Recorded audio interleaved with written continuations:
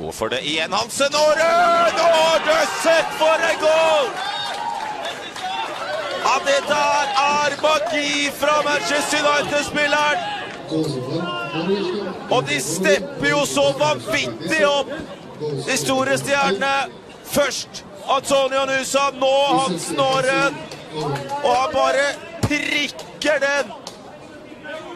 Omtrent helt oppe i bøylen.